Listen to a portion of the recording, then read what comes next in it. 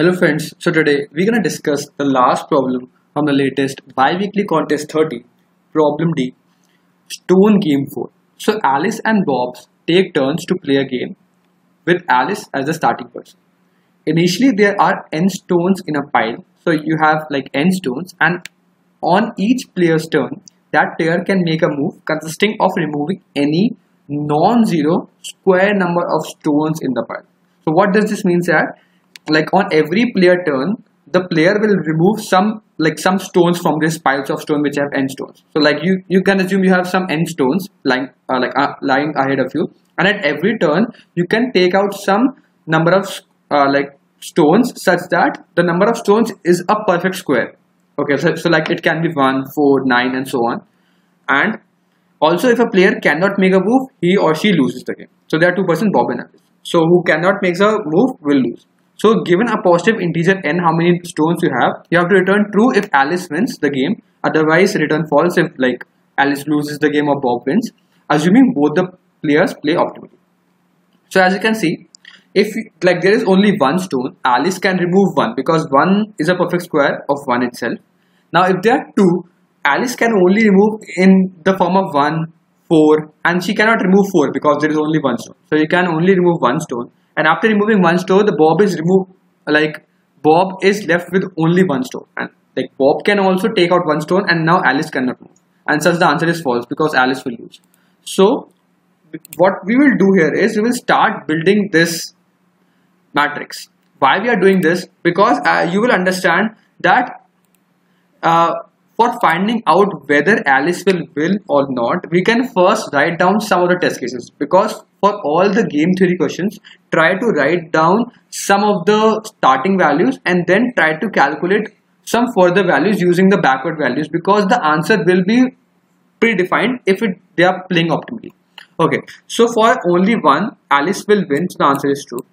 For the two, Alice will like lose, so answer is false. If there are three stones and like because you can only take out in 1 because it's not greater than 4 so the answer is like true only. Why? Because Alice will take out 1 then Bob will take out 1 then Alice will take out 1 and Bob cannot move. And thus Alice will win. Now because 4 is a perfect square Alice can take out the whole number in the first chance. And because Alice can take out the whole number Alice will win because Bob cannot play. And thus the answer is true. Okay. Now for 5 there are two chances whether I can take out 1 or whether I can take out 4. If I take out 1, I will leave out with this condition in which I have 4 stones now. And if I take out 4, I will go back 5 minus 4 is 1. I will leave to this condition. As you can see, both of the answer is true. Both of the answers true means that Alice will win in this. If Alice is in this condition, she will win. But because Alice has taken this number, and Alice have taken this number which means that Alice have taken the chance first. And then this lead to this condition in which it is of true which means whoever land on this number will win. And thus as you can see because both of them true Alice if she take 1 or 4 she will always turns out on true. And thus she will always loses. Because if she take out 1 then she falls on 4 she will lose. If she take out 4 then uh, like it will she will land she will land on one and thus uh, she will also lose. And thus in both the cases she will lose. And so the answer is just false. So as you can see what I have actually done here is you can store all the perfect squares while you're moving in the whole vector. And the maximum number of perfect squares will be as you can see the n is just up to 10 to the power 5 so if you take like 100 100 square is just 10 to the power 4 so it's less than 200 it's very less. So you will store all the perfect square while you while you are moving through the whole matrix. And what you will do for every number you will see if you take out this number or if you take out any of these perfect square numbers where you will land. And wherever you will land you will check that whether there is some false there. Because if there is some true option there which means that if you land on this true everything is true then you cannot win because everything on anything you will land on this will lead to a beneficial answer for the opponent the opponent will always win if you land on that point and thus as you can see for 6 Now for 6, you can take out 4. So if you take out 4, you will land on this, which is false. If you take out 1, you will land on this, and it is false. So as you can see, if you land any one of them, then you will always win. Which means that if you take out this, then Bob will never win. And you will always win. So answer is true. For this, you can, this is true and this is also true. And thus you will end on to be false. Now this is interesting. As you can see, now if you go back 1, you can take out 1 or 4. If you take out this, it is false. But if you go on 4, it is true. Which means that there is one option which is false. Which means that if I go here, Bob will always lose. Okay. And if I go here, Bob will win. So because I am playing optimally, I will move here.